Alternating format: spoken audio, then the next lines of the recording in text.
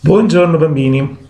Allora, oggi per italiano eh, affrontiamo l'argomento del riassunto. Avevamo già cominciato quando eravamo a scuola a parlarne facendo alcune attività, però adesso dobbiamo un po' tirare le somme su alcuni aspetti, cercare di sintetizzare le informazioni che già comunque avevamo eh, parzialmente affrontato. Allora, vediamo qual è il percorso migliore per farlo bene. Mm? Allora, prima di tutto, la cosa fondamentale è leggere bene, con attenzione, tutto il testo. Cercare di capirlo. Per fare questo bisogna cercare le parole che non si conoscono sul dizionario.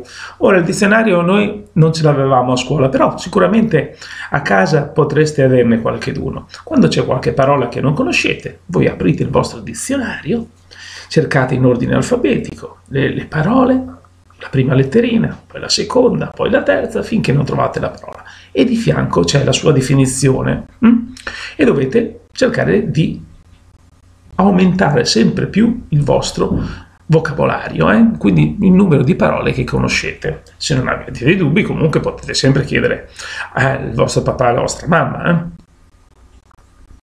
Allora, attenzione, quindi bisogna comprendere, comprendere vuol dire capire e individuare le informazioni essenziali.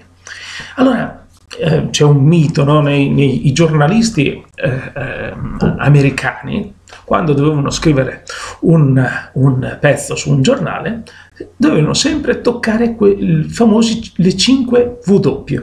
In inglese, e qui facciamo un collegamento con eh, l'inglese, ci sono cinque parole che iniziano con la W, che sono who, che vuol dire chi, what, che vuol dire cosa, when, che vuol dire quando, where, che vuol dire dove, e why, perché. Allora, vedete, di chi stiamo parlando? Mm? Che cosa accade? Mm? Quando questa cosa accade? E dove e infine, perché è accaduta? Questi sono i cinque punti che dobbiamo sempre trovare in un racconto o in una storia. Mm. Allora, vediamo in italiano. Chi? Chi sono i personaggi della storia? Mm? Che cosa? Qual è l'argomento? Di che cosa stiamo parlando? Mm? Dove, dove avvengono i fatti? Quando avvengono i fatti? In quale periodo? In quale in quale momento storico, eh? perché avvengono, quali sono i motivi che spingono all'azione, quali sono le cause hm? e come, come si svolgono i fatti. Eh? Dobbiamo sempre analizzare un passo per volta, lentamente, senza problemi. Eh? A questo punto dobbiamo dividere il testo in sequenze. Allora, che cos'è una sequenza? Mm. Un'unità narrativa che espone un momento in sé compiuto della storia. Cosa vuol dire questo? È una parte della storia mm, che inizia e finisce. Per esempio, potrebbe essere in una fiaba, eh, per esempio, il momento in cui il personaggio principale eh, incontra il re eh, o la regina gli danno un compito, eh, un'avventura da iniziare. quella può essere per esempio una sequenza. Mm? Ecco, si ha una sequenza ogni volta che avviene un cambiamento significativo. Mm? L'insieme delle sequenze sviluppa la trama, la trama della storia. Mm?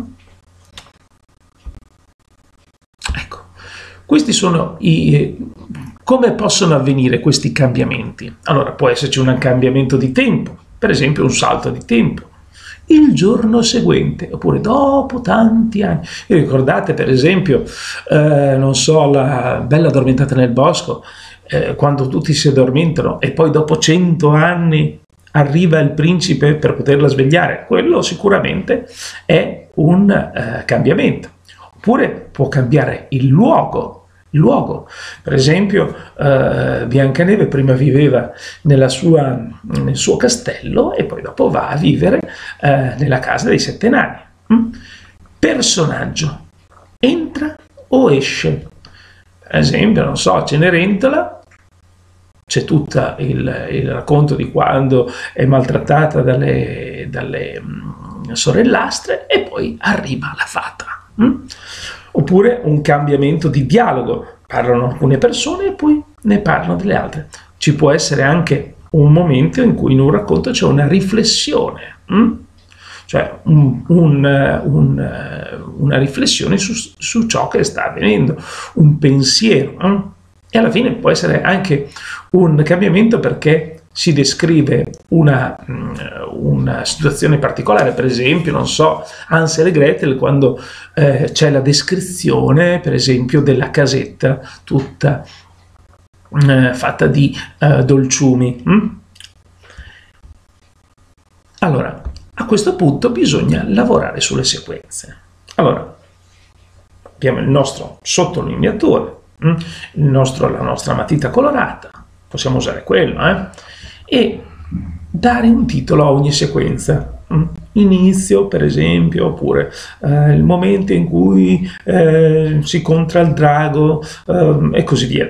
Sottolineare le parti principali di ogni sequenza. Mm? Poi scrivere con parole semplici e chiare i fatti principali di ogni sequenza.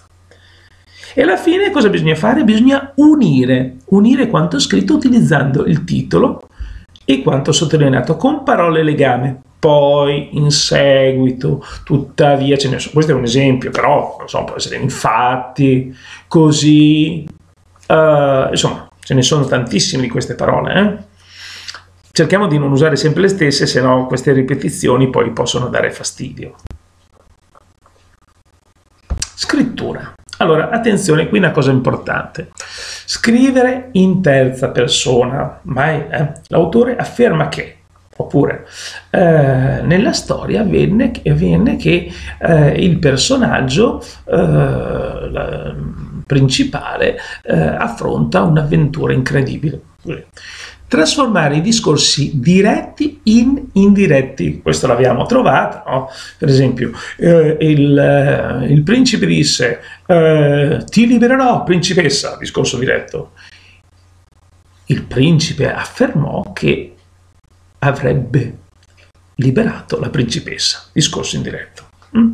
Usare un solo tempo verbale. Diciamo che questo tendenzialmente eh, si può abbastanza fare, però non è semplice eh, sempre farlo. Diciamo che se ambientata nel passato si possono usare varie forme di passato, eh? però adesso cerchiamo di usarne uno solo. Hm?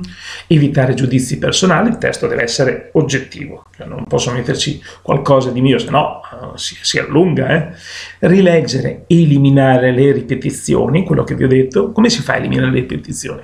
Si guarda sul vocabolario e si cercano i sinonimi. Di solito nei vocabolari ci sono sempre i sinonimi, cioè parole che hanno lo stesso significato ma che sono diverse, in maniera che non si ripetano. Mm? Eh, correggere gli errori ortografici e grammaticali e lì il nostro vocabolario ci, eh, ci è sempre d'aiuto e se non c'è c'è sempre mamma e papà. Allora, riassumiamo. Allora, leggere attentamente, prima cosa.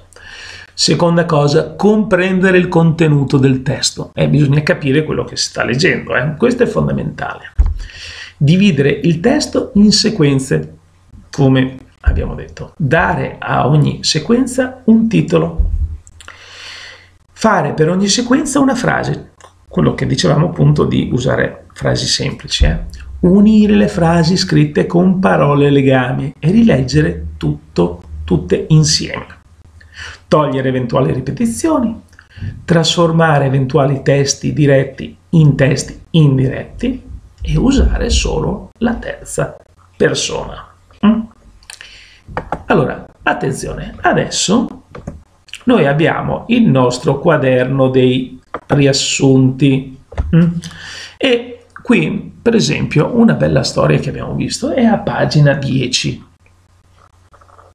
Qui parla in particolare delle sequenze descrittive. Nel riassunto della vicenda di un racconto non sono necessarie le sequenze descrittive. Cosa vuol dire? Quelle parti in cui eh, eh, vengono descritti oggetti, persone, eh, personaggi Eh?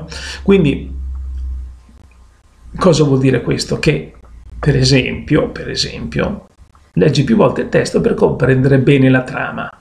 Qui voi dovete leggere Sigfrido e il drago. Sigfrido e il fabbro Regin giunsero nella landa di Ignita. Ai loro occhi si presentò uno spettacolo sconfortante. La landa era una terra cupa e desolata dove si scorgevano solo rocce sassi e un terreno arido e polveroso. Vedete, questa per esempio è una sequenza descrittiva. Viene descritta la landa di Gnita. Mm? Allora, questa parte è, può essere, in un riassunto, può essere tralasciata. Mm? Allora, andando avanti, qua il racconto prosegue, dura due pagine, la pagina 10 e la pagina 11 del nostro libro dei riassunti. Alla fine cosa dovete fare? Dovete segnare con parentesi rosse le parti che descrivono il luogo dove sono giunti Sigfrido e Regi, l'aspetto del drago, la buca che ha scavato Sigfrido, l'arrivo del drago, le reazioni del drago dopo che è stato ferito a morte. Dopo aver individuato le sequenze descrittive che devono essere eliminate, rileggi il testo. Capisci comunque la trama? Allora, se avete tolto queste, queste sequenze descrittive e riuscite a capire la trama, allora vuol dire che avete eh, fatto una bella sintesi, un bel riassunto hm, di questo eh, racconto eh, e poi dopo potete inviarmelo. Ora vi saluto e ci vediamo alla prossima lezione. Ciao!